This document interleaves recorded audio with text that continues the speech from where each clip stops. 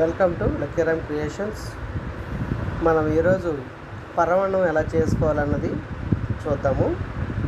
ముందుగా ఒక అర లీటర్ పాలు దాంట్లో అర లీటర్ పాల ప్యాకెట్ తీసుకున్నామండి. దాంట్లో ఒక గ్లాస్ ఉన్నర వాటర్ పోసుకున్నాం. వాటర్ పోసుకొని స్టవ్ మీద పెట్టుకొని వెయిట్ చేసుకోండి.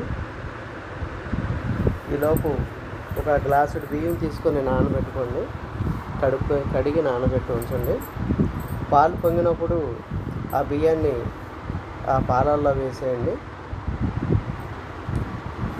రేపు శ్రావణ శుక్రవారం కాబట్టి అమ్మవారికి ఇష్టమైన ప్రసాదం పరమాణం అంటే చాలామంది చేస్తారండి ఇది. శ్రావణ శుక్రవారం అప్పుడు పూజ అప్పుడు పెట్టుకుంటూ ఉంటారు ప్రసాదం కింద. రైస్ మొత్తం వేసేసుకోండి. వేసిన తర్వాత రైస్ని ఉడకనివ్వండి.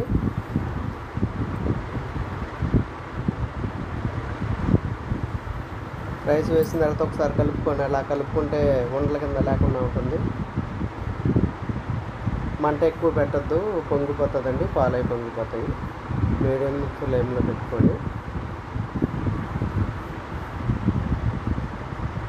అన్నం ఉడికింది కదండి. ఇప్పుడు మనం బెల్లం తీసుకున్నాం. బెల్లం ముక్కల కింద చేసుకొని ఒక కప్పున్నర బెల్లం వేసుకోండి. ముక్కల కింద చేసుకుంటే ఫాస్ట్గా అవుతుంది. బెల్లం వేసిన తర్వాత ఒకసారి కలపండి మొత్తం.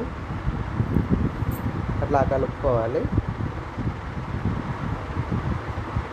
అలా కలుపుకున్న తర్వాత పక్కకు పెట్టేసుకోండి.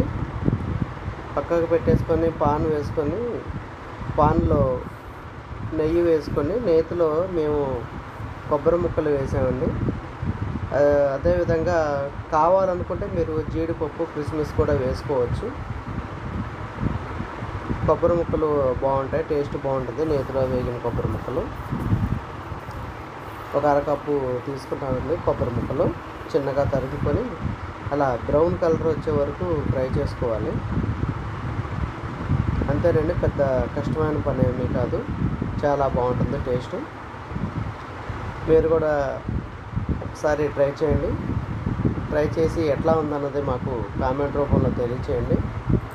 అయిపోయిందండి. అలా వెయిట్ చేసుకున్న తర్వాత ఫ్రై చేశాక పరమాణంలో కలిపేసాడు అంతేనండి. పెద్ద కష్టమైన పని ఏమీ కాదు. చాలా బాగుంటుంది. మీ వీడియో కనుక నచ్చితే లైక్ చేయండి. షేర్ చేయండి. సబ్స్క్రైబ్ చేయడం మాత్రం మర్చిపోవద్దు. థ్యాంక్ యూ ఫర్ వాచింగ్ అండి. చాలా అంటే చాలా బాగుంటుంది. పర్వాణం ఇది ఓకే అండి. Thank you for watching.